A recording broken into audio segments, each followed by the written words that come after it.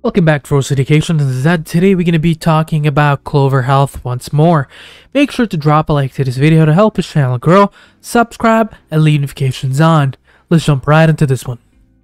I've broken this video into due diligence and technical analysis. If you'd like to skip towards the due diligence part or technical analysis, please feel free to do so. We're starting off with due diligence to start with. And for this one here, I did cover this one previously in my video. Video link is in the description below actually. And I went from anywhere between when first the allegations opened up with uh, from Hindenburg Research towards their uh, or response to that and what I think about this. This one here is an extension towards an update. If you don't realize or didn't didn't watch my previous videos, Clover Health works in a little bit off a Medicare plan with more. They're not really an insurance company, but more off a medical provider, uh, generally speaking, with different privileges. It's a little bit hard to really uh, pinpoint exactly what they are, just because they're they fall under so many categories, whether maybe a little bit insurance or something towards uh, coverage plans or Medicare. So to sum it up, Clover Health is Medicare done differently. Clover Health Medicare Advantage plans have all essentials like hospital coverages, doctor visits, and drug coverage Part D, plus no cost extras like vision, dental, hearing coverage. So original Medicare plans. For Part A, you have hospital insurance, which is original Medicare pays 80% of your covered hospital expenses. Your Part B medical insurance, which is our medical care, original medical uh, pays 80% off your coverage doctor expenses. Then you have the private insurance, which is Part C, Medicare Advantage, which you can replace original Medicare with a Part C plan like Clover Health.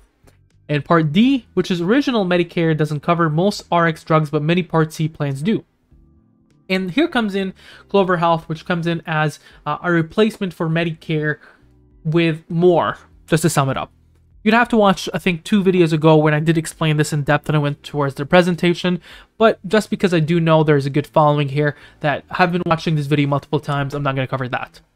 In terms of events, they don't have any new events coming up. The last event was uh, for the JP Morgan. That was a little bit a while ago. Um, if you would like to go towards the deep dive presentation, you get to see a little bit more about what their perspective is and some of their possible outcomes in the future. Now, the last event was on January 12th for JP Morgan. I don't see any upcoming events coming up. Institutional buyers on this one looks like on the 12th of this uh, February, Interchange Core Strategies added around 13,000 shares, which is nothing really. But here's the interesting thing: Goldman Sachs added around 17,800. Yet Take a look at all the other institutional buyers that literally dumped it after the Hindenburg research. They just basically threw out the entire uh, their entire shares. Uh, Alpine Global Management decreased 82% of their shares. Hudson Bay, I'm not sure exactly what happened here, but this is an update on their position. Goldman Sachs is the only one in the last uh, week or so that actually ended up adding around 20, almost 20,000 shares.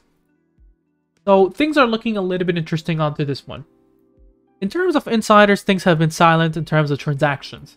Now, rec recently, if you do understand, if you uh, recall, I earlier said in the video, Hindenburg Research came up with a really extensive report about why Clover Health is maybe not the best idea about investing and might have a little bit of speculations regarding negative aspects to it, perhaps even fraud. And following that, following the publications of Hindenburg Research on February 4th concerning the, the recently completed business combination of Clover Health, the company received a letter from Security uh, and Exchange Commission, the SEC, indicating that it's conducting an investigation and requesting documents and data preservations for the period from January 1st, 2020 to the present.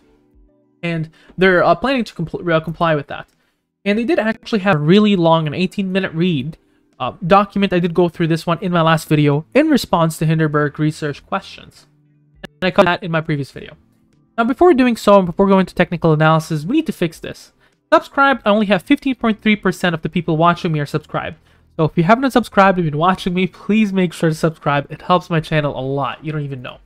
Now, on a, on technical analysis point of view, as I said, please make sure to subscribe and leave notifications on. It helps my channel a lot. Technical analysis point of view, on a two-hour perspective, things are looking a little bit rough.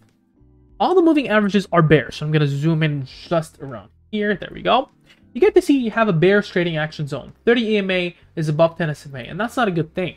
You needed to escape the 1242 before it becomes bullish again. MACD looks like there's a bit of a retraction there. Uh, it's actually diving a little bit down. Your Williams percent R is highly oversold. ADX shows in a possibility of a negative trend to continue, and momentum is negative. So things aren't really looking good for Clover Health at the time being on the moving average band. On uh, or sorry, on the movie on the moving averages. Moving average band, you get to see this one is expected to trade 1469 at the top, 1335 on, on the middle, and 1202 in the bottom. The Bollinger bands are 1532 and 1139. So you can expect for it to correct itself, but currently that moving average band is going downwards, and so is the price point with it. Next, the stochastic fast and stochastic slow are both going downwards, and it looks like it's expected to see further pullback.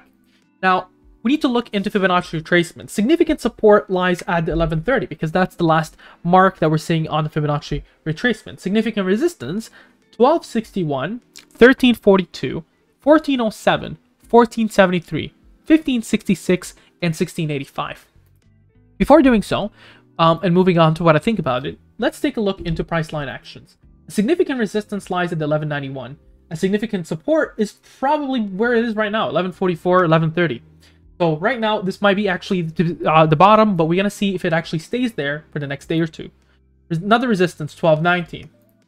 Above there, 1256. Above there, you're looking at 1281. Above there, 1330. Above there, 1387. And then we go a little bit back.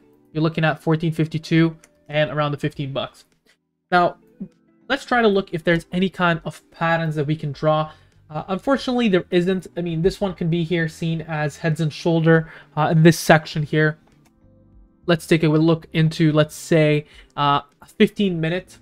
Try to see if there's any patterns here that we can see intraday. No, it looks like there was a massive drop all the way to 1130 or maybe even 1162 and then it bounced back towards almost normal levels of 1330 uh, and then starts to bounce down into more of a fear uh, with no news and why is this fear coming out? From my opinion, my speculations, is that this one is probably gonna hit. I, I did previously say around 11, but we are around 11. So if you still believe in Clover Health, I think this one here around 11 to 10 bucks is a good entry. Firster, a starter, I'm not saying, just a starter entry. And if it does actually start dropping down even further, add a little bit more. My expectations is that a lot of this news is probably gonna brush off in a couple, two, three months. And if you need to consider whether you're investing or trading, and trading this one is dangerous. You're gonna be literally wanting to time the market. You want to get right exactly where it is at the bottom to where it is at the top. And especially speaking, let's say even if you try to time that market in trading at 11:30, uh, you got that very small dip, you're barely in profit right now. And we're not here to time the market. So in terms of investment, I still believe in this one. I like the stock, um, but there is a lot of risks, and so a starter is where you take an investment. On trading, I would stay away. What do you think about this ticker? Make sure to mention down in the comments below. Share, subscribe, and like. You have a wonderful day.